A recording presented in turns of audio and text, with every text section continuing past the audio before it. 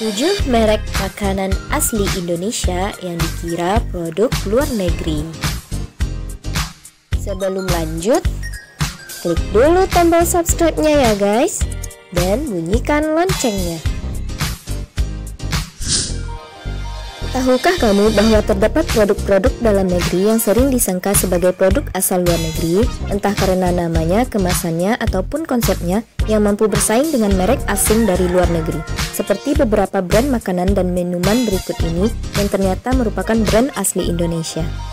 Apa saja produk tersebut? Berikut informasi selengkapnya. Silver Queen karena nama produk dan kemasannya yang elegan, coklat Silver Queen sering dikira merek asing. Produk coklat yang terkenal ini diproduksi oleh PT Petra Foods yang bermarkas di kota Bandung.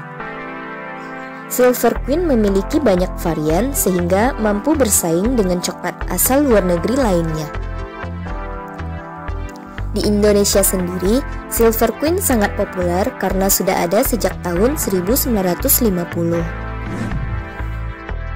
Jiko Donut and Coffee. Sesuai dengan namanya, restoran yang satu ini berfokus pada donat dan kopi. Dengan desain dan suasana kafe yang modern, banyak yang mengira jika Jiko merupakan salah satu cabang kafe dari luar negeri.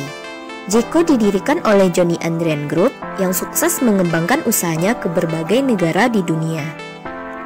Kualitas rasa dan konsistensi dari donat serta olahan kopinya adalah kunci sukses Jeko di pasar lokal maupun internasional. Hokben Hoka Hoka Bento atau Hokben merupakan restoran asal Jakarta yang menyajikan makanan khas Jepang.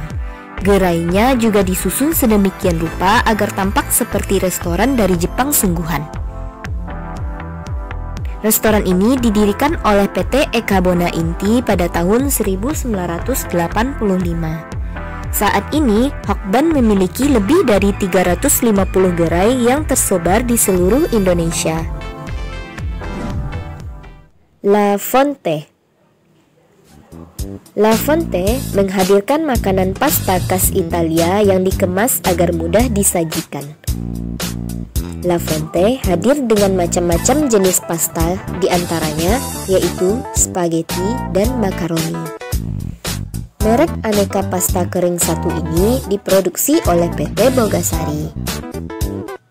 La Fonte juga populer di beberapa negara lain seperti Malaysia, Thailand, Filipina, Hong Kong, dan Korea. CFC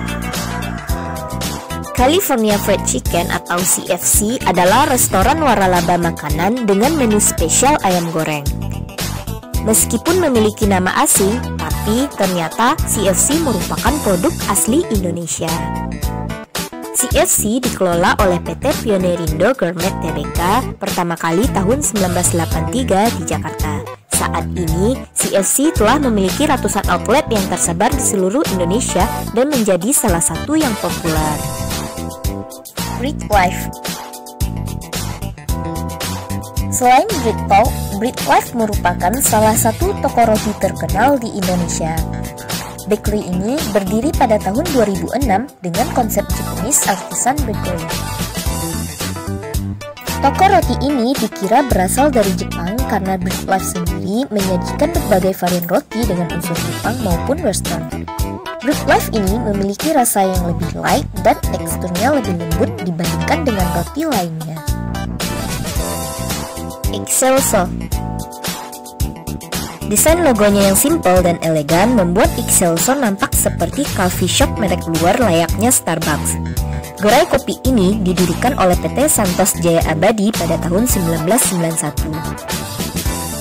Excelso juga menyajikan kopi-kopi khas Indonesia seperti kopi luwak, kalosi toraja, dan jawa estate.